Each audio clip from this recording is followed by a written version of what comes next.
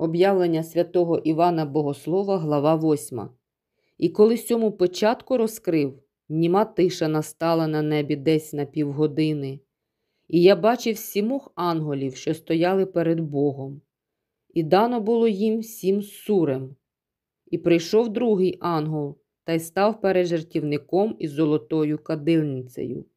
І було йому дано багато кадила, щоб до молитов усіх святих додав на золотого жартівника, що перед престолом. І знявся дим кадильний з молитвами святих від руки ангела перед Бога. А ангел кадильницю взяв і наповнив її огнем і жертівника та й кинув на землю. І щинилися громи, і гуркотнява, і блискавиці та трясіння землі.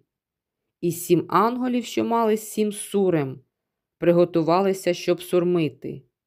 І засурмив перший ангел, і вчинилися град та огонь, перемішані з кров'ю, і впали на землю, і спалилась третина землі, і згоріла третина дерев, і всіляка зелена трава погоріла. І засурмив другий ангел, і, немов би велика гора, розпалена огнем, була вкинена в море.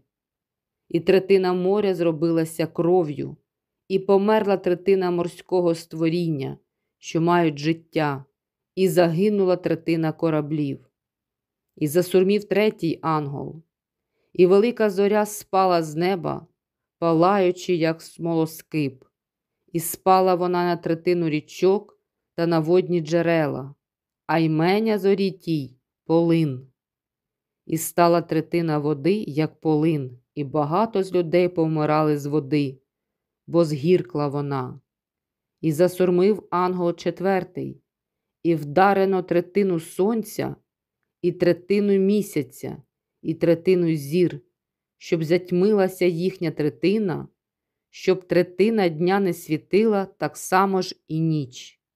І бачив і чув я одного орла, що летів серед неба і кликав тучним голосом.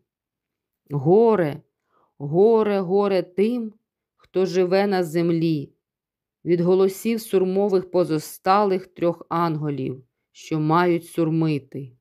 Амінь.